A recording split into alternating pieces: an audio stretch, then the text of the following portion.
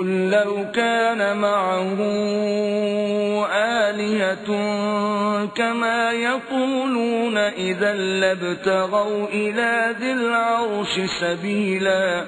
کہہ دو کہ اگر اللہ کے ساتھ اور معبود ہوتے جیسا کہ یہ کہتے ہیں تو وہ ضرور خدا مالک عرش کی طرف لڑنے بھڑنے کے لیے رستہ نکالتے۔ سبحانه وتعالى عما يقولون علوا كبيرا وہ پاک ہے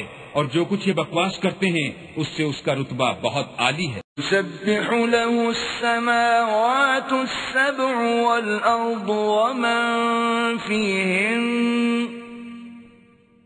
وإن من شيء إلا يسبح بحمده ولكن لا تفقهون تسبيحهم ۖ إنه كان حليما غفورا. ساتوں آسمان اور زمین اور جو لوگ ان میں ہیں سب اسی کی تسبیح کرتے ہیں اور مخلوقات میں سے کوئی چیز نہیں مگر اس کی تعریف کے ساتھ تسبیح کرتی ہے۔ لیکن تم ان کی تسبیح کو نہیں سمجھتے بے شک وہ بردبار اور غفار ہے۔ وَإِذَا قَرَأْتَ الْقُرْآنَ جَعَلْنَا وبين الذين لا يؤمنون بالآخرة حجابا مستورا.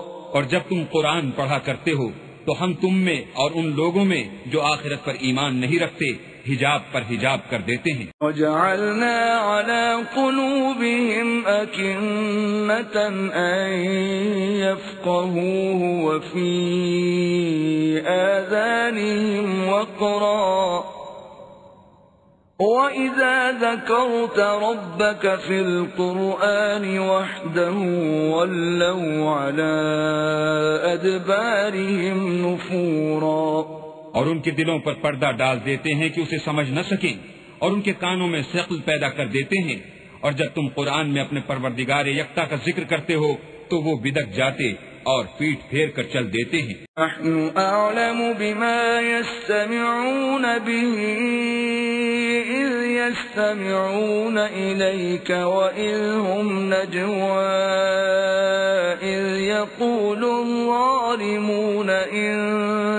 ان تتبعون الا رجلا مسحورا یہ لوگ جب تمہاری طرف کان لگاتے ہیں تو جس نیت سے یہ سنتے ہیں ہم اسے خوب جانتے ہیں۔